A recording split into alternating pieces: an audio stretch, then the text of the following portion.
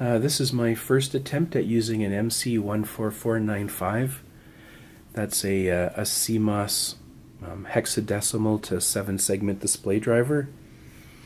Um, so this is a common cathode uh, display.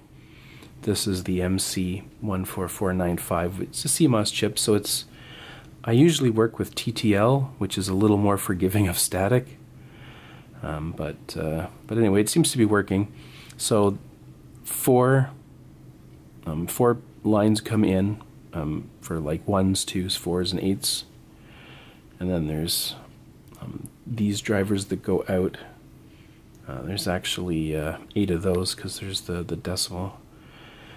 Um, over here, I just have a uh, a dip switch um, for ones, two, four, and eights. I've got it uh, pulled low with this 4.7k uh, pull down resistor and then these are the, the ups. And then this over here I just pulled it over here.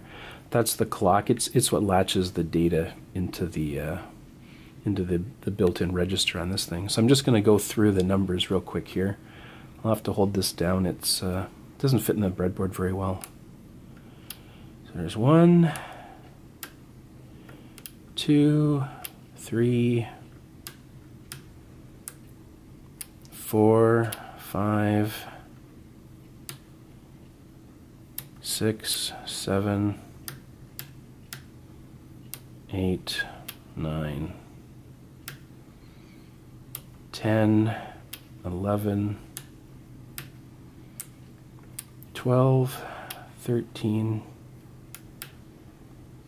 fourteen, and 15. Um, yeah, you can see it's it's touchy. Where's that? What's loose? I think it's this breadboard actually. There we go. Yeah.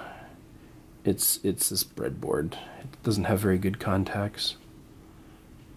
Anyway, you can see it's it's I think it's a success regardless. Come on.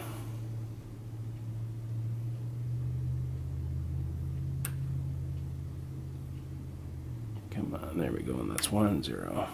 And then two, four, and eight. All right, well, I guess that's a success. Um, it might mean I should be buying better quality breadboards, though.